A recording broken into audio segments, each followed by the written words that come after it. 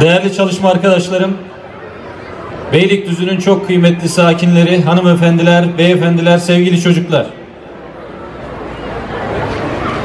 Türk milletinin bu en kutlu gününde, günlerinden biri olan Cumhuriyet Bayramınızı hepinizi tebrik ediyorum. Cumhuriyeti ve bu güzel vatanı bizlere armağan eden başta Gazi Mustafa Kemal Atatürk olmak üzere silah arkadaşlarını, bütün şehit ve gazilerimizi rahmet ve minnetle yad ediyorum.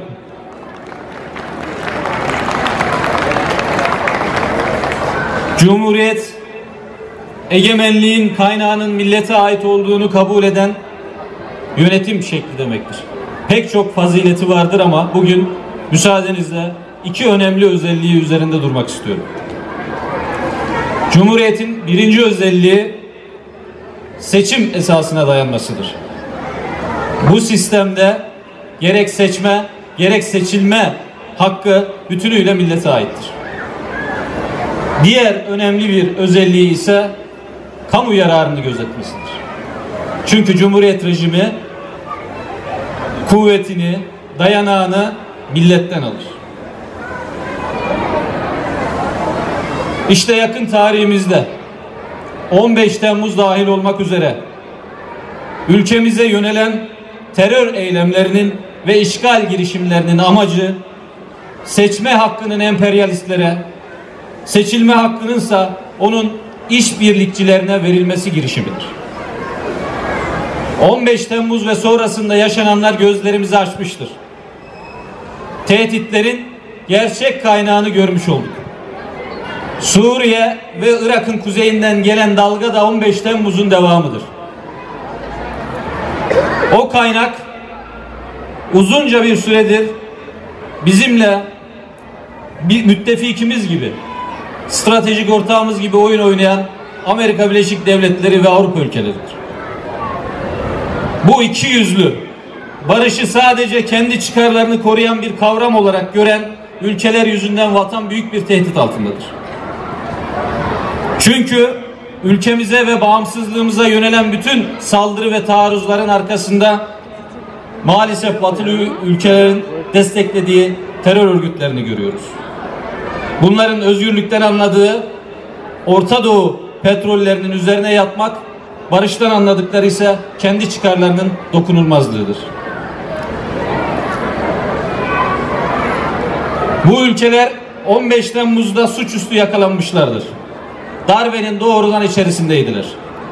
Darbenin başarılı olması durumunda ya da muhtemel bir iç savaşta müdahale seçeneğini devreye sokacak ve ülkemizi işgal edeceklerdi.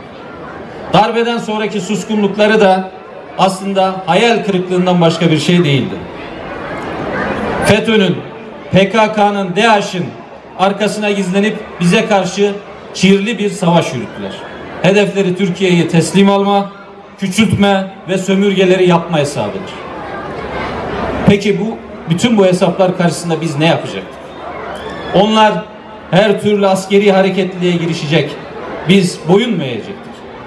Onlar adım adım Türkiye'yi imha edecek. Biz çaresiz bakacak mıydık? Türkiye hepsini seyredecek. Namlusu kendisine doğrultulan silahları görmezden mi gelecekti? Sınırlarımızın sıfır noktasında askeri yığınak yapanlara bir şey demeyecek miydik? Elbette müdahale etmenin bir bedeli var. Ama yanı başımızdaki bu hain planlara müdahale etmemenin sonucunda ortaya çıkacak olan daha büyük bir bedeli, maliyetin sorumluluğunu kim alacaktı? Değerli dostlarım öyleyse atılacak adımlar bellidir. Bir ülkenin, bir devletin tehdit kendisine ulaşmadan kaynağına yönelmesi zorunludur. İşte bu tehdidi, bu kuşatmayı yarmak, etkisizleştirmek milli duruştur, yükümlülüktür, bir varoluş mücadelesidir. Mesele aslında DAEŞ ya da PKK meselesi değil, Amerika Birleşik Devletleri'nin ve müttefiklerinin Orta Doğu'yu işgali meselesidir. Türkiye, ABD ve müttefiklerinin sınırımızın hemen güneyinde terör devletçiyi kurma planlarına ve kendisine yönelen hayati tehditlere karşı harekete geçmiştir. Suriyeli Kürtleri PKK-YPG teröristlerinin emrine vermeyi ve dolayısıyla kendisine köle yapmayı hedefleyen ittifakı Türkiye'yi yıllarca baskılamayı ve tehdit altında tutmayı planladı.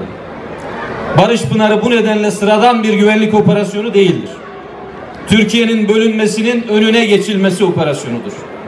ABD ile işbirliği yapan bölgedeki terör örgütlerinin Türkiye'yi çevrelemeye, kuşatma altına almaya, ardından da içeriden ve dışarıdan saldırı başlatma planlarına karşı bir meşru müdafaa girişimidir.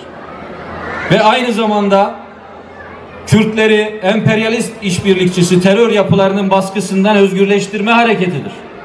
Çünkü bu yapı Kürt gençlerini kendi koltuk ve çıkarları için ABD'nin 200 dolarlık piyonu haline getirmiştir. Dolayısıyla biz aslında Kürtlere karşı değil, Kürtleri özgürleştirmek için Suriye'nin kuzeyindeyiz.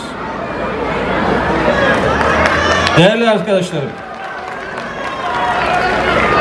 Barış Pınarı Harekatı maskeleri düşürmüştür. Avrupa Birliği ülkeleri, Amerika Birleşik Devletleri ve sömürge artı Arap rejimleri koro halinde bizleri tehdit ediyor.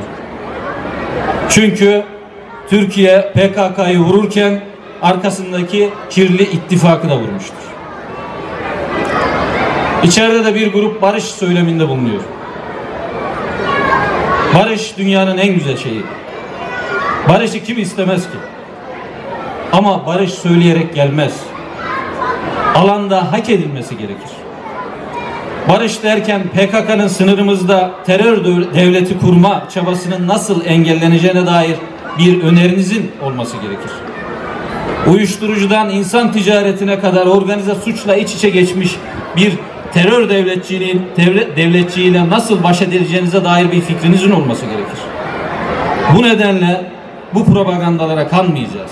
Zihinlerimize sızmalarına izin vermeyeceğiz. Çünkü demokrasimizin terör örgütleri tarafından rehin almasına izin veremeyiz.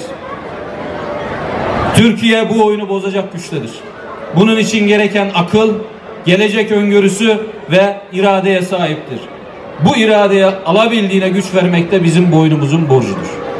Değerli dostlarım, sevgili öğrenciler, bu duygu ve düşüncelerle ben Cumhuriyet Bayramınızı bir kez daha tebrik eder, herkese saygılarımı sunarım.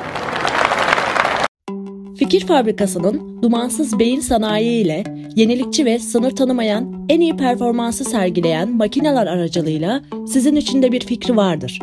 Açık hava reklamcılığı, grafik tasarım, lazer kazıma, matbaa, organizasyon, davet, ofis kırtasiye, fotoğraf çekimleri ve önce olduğumuz birçok avantajlı hizmetlerimizden yararlanmak için sadece bir tık kadar uzağınızdayız. Fikir Fabrikası. Siz hayal ettikçe o yaratır.